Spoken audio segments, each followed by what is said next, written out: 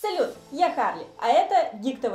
Знаете, меня очень радует последняя тенденция, благодаря которой рушится и ломается на глазах безупречный образ принцессы.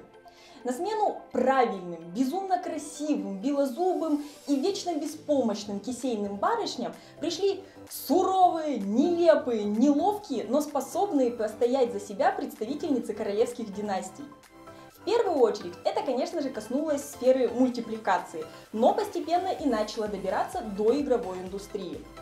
И пусть вас не пугает тот факт, то что оригинальное название сегодняшней игры выглядит так, будто сатана кинул вам в лицо рандомными английскими буквами. Потому что произносится это все очень даже легко. Чок, поехали! Чок – это приключенческий point-and-click квест с ручной и покадрово анимированной 2D графикой. Игра полна черного и не только юмора и загадок. Сюжет рассказывает нам о сказочном королевстве, в котором правит королева, у которой есть милая дочь принцесса Чок. Что произошло с королем, тайна покрытая мраком. Однажды королева уехала на войну, забрав с собой почти всех людей, и в это время злой колдун захватил королевство, а юную принцессу бросил в темницу. Игроку нужно будет преодолеть огромное количество препятствий и решить множество загадок, чтобы выбраться из замка и спасти себя и все королевство.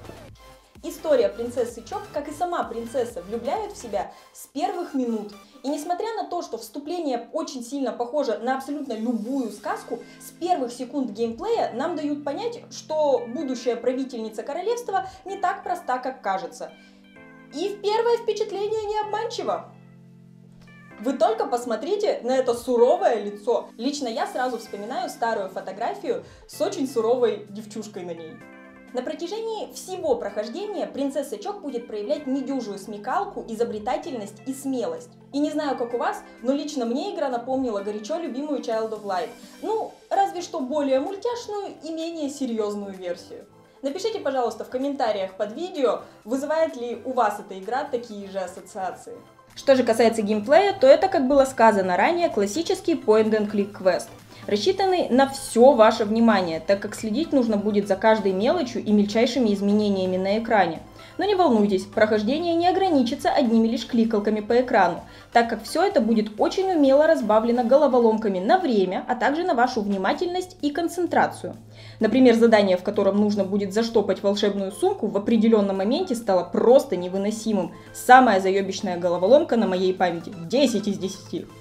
Если вы считаете, что Чок это очередная 2D-шная добрая сказочка, то очень зря, потому что игра имеет двойное дно. Под толстой коркой юмора прячется небольшая, но очень понятная многим семейная драма. Как поняла лично я, то это история одного из разработчиков игры. Если честно, более какой-то конкретной информации не нашла, поэтому если вы знаете что-то большее, то делитесь ссылками, ну либо просто рассказывайте об этом в комментариях, я буду вам признательна. Зарывшись в работу, мужчина начинает э, терять связь с реальностью и самое главное со своей семьей. Именно поэтому в конце, когда уже подходит кульминация. Вся эта сказочная мишура начинает покрываться трещинами, и через них лезет реальный мир. Главное, что вам стоит понять для себя, так это то, что эта игра про настоящих людей и про реальную историю а не про какое-то абстрактное сказочное королевство, населенное королями, королевами, колдунами и драконами. Объяснила как-то очень абстрактно и непонятно, но это, пожалуй, единственное, что я смогла сформулировать, и при этом вам не наспойлерив. Ну и напоследок о персонажах. Местный бестиарий состоит в основном из вороноподобных довольно нелепых монстров, от одного взгляда на которых хочется смеяться от всей абсурдности их вида.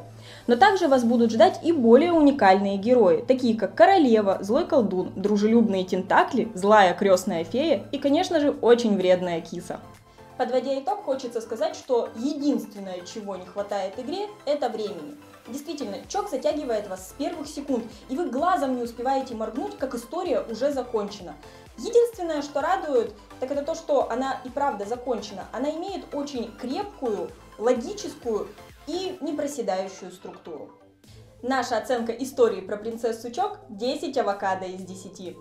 На этом все. Не забывайте подписываться, ставить лайки, вступать в нашу группу ВКонтакте и делиться своим мнением в комментариях под этим видео. Ну и, конечно же, подписываться на наши инстаграмы. А мы с вами увидимся через неделю.